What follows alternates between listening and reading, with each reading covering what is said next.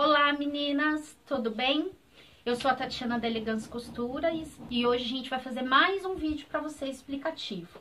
É, a gente tá aqui na sala de noivas, hoje a sala não tá com noivas, a gente tá com a dona Dilma que tá dando os acabamentos finais no vestido de uma noiva aqui na barra. Tá vendo, meninas? É esse manequim aqui, ó, que eu falo pra vocês quando a gente coloca pra gente ter uma referência do corpo de vocês.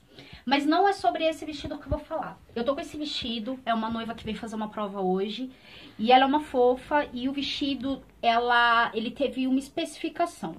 Ela comprou o vestido da China, veio com a barra certa, mas ela se apaixonou por um sapato. Gente, o sapato dela é lindo, impecável.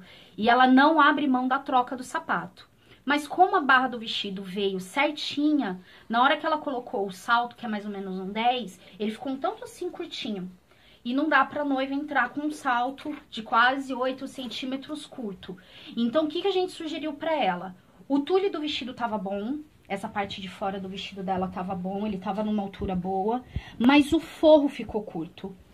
O forro dela, ele fica, se vocês olharem agora no vídeo, ele fica quase um palmo, ó, menor, tá vendo?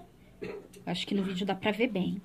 O que, que a gente sugeriu? Ela amou o vestido, a gente falou pra ela, olha, a única solução nesse caso é aumentar o forro.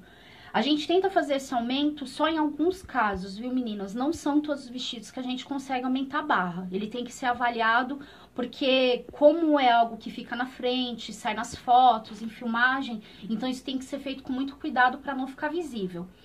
O tule dela tava bom, então o que, que a gente sugeriu? Para ela foi aumentar só o forro. Nós providenciamos o tecido mais próximo, porque uma das, uma das dificuldades que a gente tem de fazer qualquer aumento em vestido de noiva é achar o mesmo tom de tecido.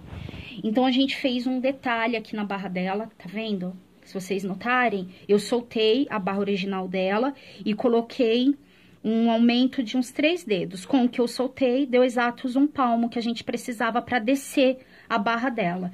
Então, a gente fez um detalhe, quando ela coloca o vestido, ele fica só um detalhe bem discreto, não fica visível que teve um aumento ali.